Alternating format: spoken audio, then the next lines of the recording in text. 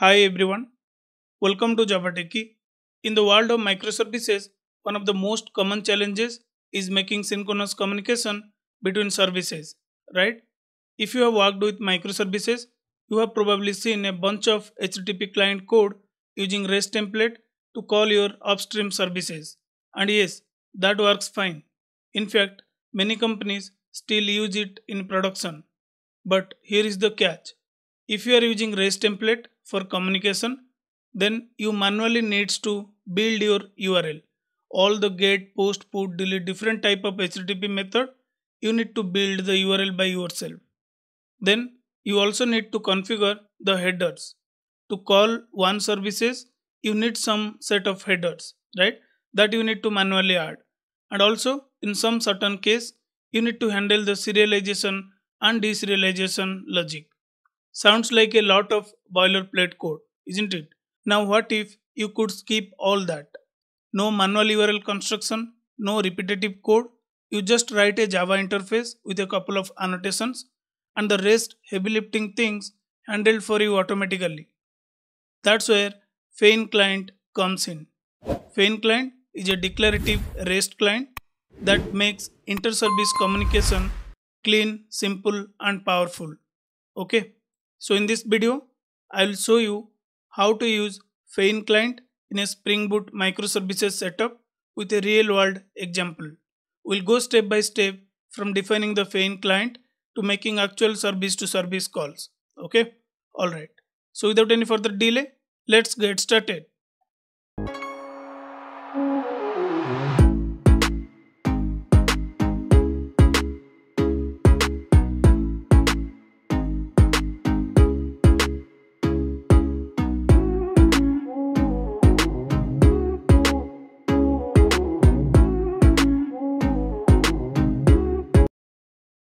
So to save our time, already I created two simple microservices, student service and course service. Now you can imagine this course service as upstream or server side code. If you see, I have defined the simple logic. Go to the course controller. If you observe here, we have defined three different endpoint. Get all the course, get the course by ID and just add rating to a specific course. Okay. Now if you open the course service, I just hard coded few list of course from the JSON file. Then I'm just playing with this hard code list. Get course by ID. I'm returning the course by ID. Then I'm returning the hard coded list for get all course. Then add rating. Get the rating object for specific course. Then add a individual rating to that.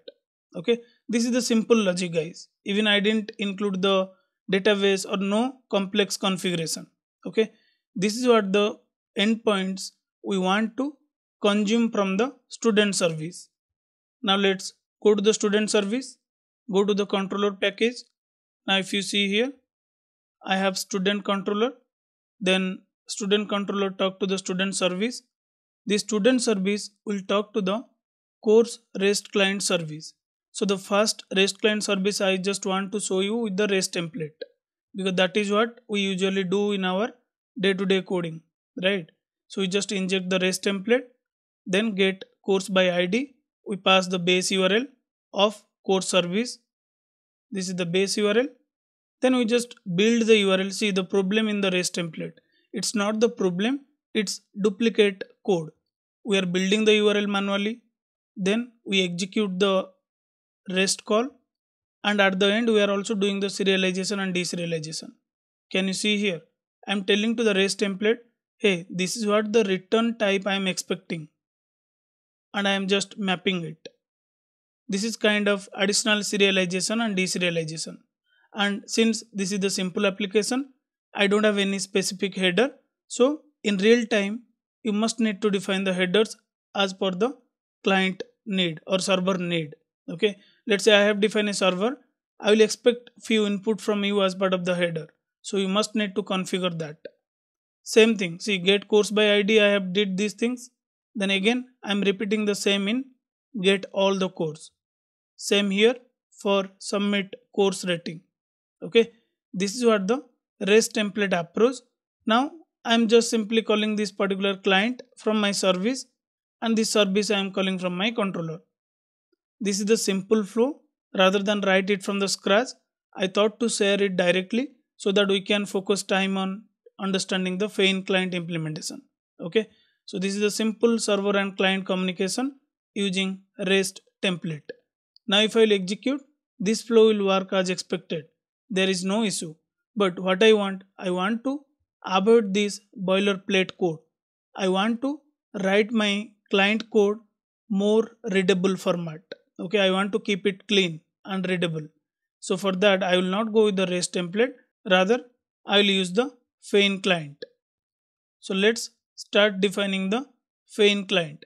As you understand, while defining the Feign client, you no need to write any complex logic. You just define the interface and just tell to the Spring by defining some methods and annotation. Okay, let me show you. It's very simple and you can use it if you are using microservices. Okay, if you have bunch of microservices and you are using Spring Cloud, Spring Boot, then you must need to use Feign client rather than going for REST template or web client or any other uh, medium to consume your upstream. So to start play with the Feign client, first you need to add the Feign client dependency. If you observe in the pom.xml, we have added Spring Cloud Starter Open Feign. Okay, and the Spring Cloud version currently I am using this one. Now what I can do, go to the client package, I'll just define an interface, course client. Now here, by defining the annotation Feign client, define what is the name of your client, let's say course client, and what is the URL, base URL. I'll keep till 8081. Okay. This is the simple way you can define your base URL and name of your client. Now if you want, you can also configure this value outside to the application or you can load it from your application.properties file or YML file. So if you see here in application.yml file, I have defined application services course URL. Tomorrow you want to add another service, just define the hierarchy. Okay, let's say something payment then you can define the url whatever the url you have. Okay that's not the concern. We are not going to discuss about it. I want to load this value directly in my course client. So you know how to load the properties in spring right? Just define these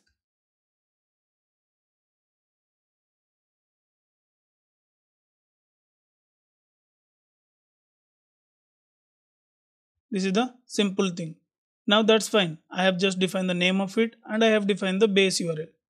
Now how can I define my endpoint? If you see here, I tell to the Spring Boot, hey, use the REST template, call this particular endpoint of type which method? Get method, get for entity. Can you see here?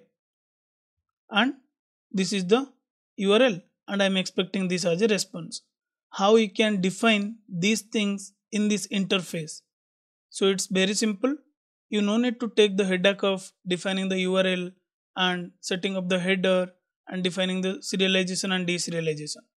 Just go to your server side code, which is nothing your course service, and try to understand which type of HTTP method you have defined. Now, if you see to get all the cores, you have defined the method type as a get. And does it require any input parameter? No. What it returns? List of cores you just remember this signature. Similarly, to load the course by ID, it required one parameter of type HTTP method get and then adding the rating. It required it is of type post HTTP method and it required one input parameter and one request body.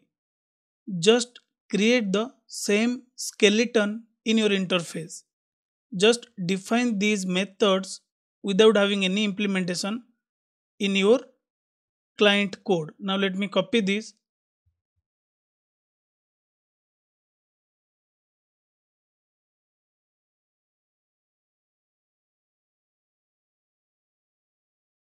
How simple is this?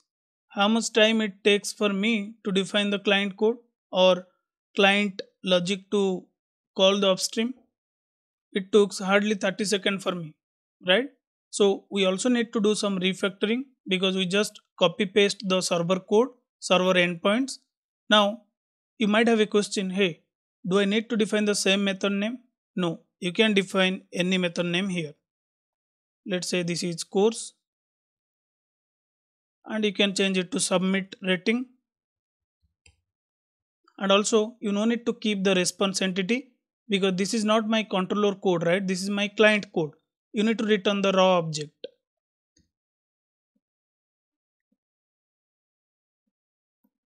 Also since this is interface all the method by default public and abstract you can remove this access modifier. We are all good now. Now do you know how it works? When I call the course method, how it directly call my course endpoint, get all the course? Let me tell you. So Spring internally what it does, it create a proxy of your Feign client. Fine. Now once it create the proxy, it internally use REST template or any HTTP template to build the request when I'm saying build the request, which type of request it will build based on your method signature. When I'm saying method signature, okay, for this one, right, get mapping. So the method signature, which type of HTTP method we are using, get. Is there any input parameter? No. What it is expecting to return? List of course. Okay so all the things it does behind the scene okay behind the scene also it will map what url by loading your this particular value. So it build everything for you on the fly. You only need to call the method courses. Let me keep it as a node. Let it be. Now let's try to use these methods instead of using our course rest client service. Okay? So what I can do? Fine. Now let's go to the student service let me comment it out. And we'll inject private course client which is nothing the Feign client interface. Now just replace the method name what we have defined in our interface. All good. Now this particular service we are calling from our controller. Okay? We can simply start both course service and student service and we can try accessing these endpoints to validate whether we are able to consume the upstream endpoints or not. Now once i trigger this particular request request will go to the student service.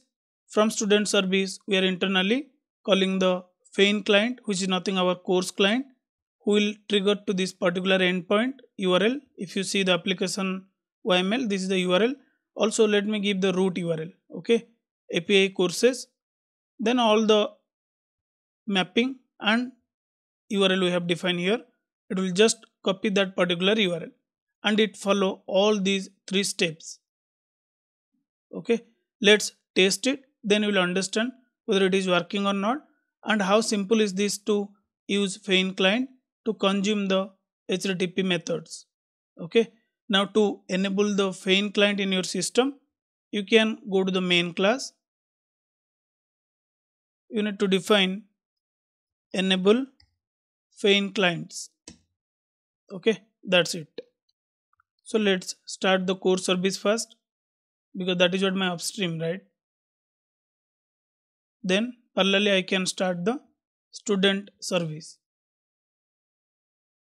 So student service is up and running and course is also running on port 8081 now what we can do go to the browser and open the swagger.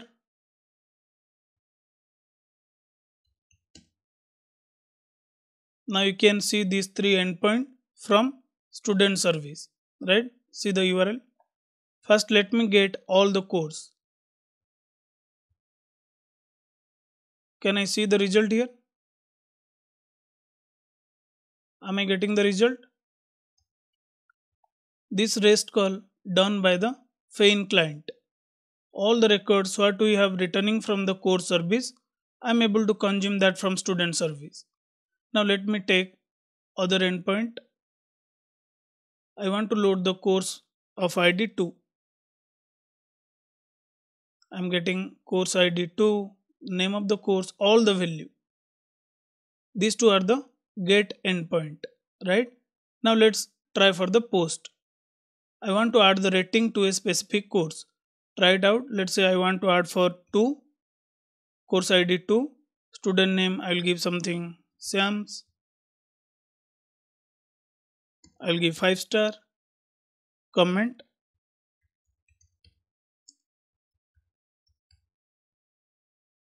Click on execute. Rating submitted successfully. Now if I'll fetch the course 2 again, I should see that result. Can I see here the comment I added? All the things is working as expected, right? So this is how you can use Feign client to simplify your client code. Now if you go to the Feign client in the student service, here if you observe what we have defined application.service.course.url. The whole host port everything we have defined. But if you are using service registry like Eureka or Kubernetes registry or any service registry, then you no need to deal with the host and port. You can directly give the service name, whatever the service name you have registered. That's different thing, okay? But you have this option to directly define the service rather than hard code your host and port. Okay, so try using Feign client if you are using microservice architecture and if you have bunch of microservices and you want to use the declarative REST client using this Feign, you can play with it. Just give it a try and let me know in a comment section if you have any doubts.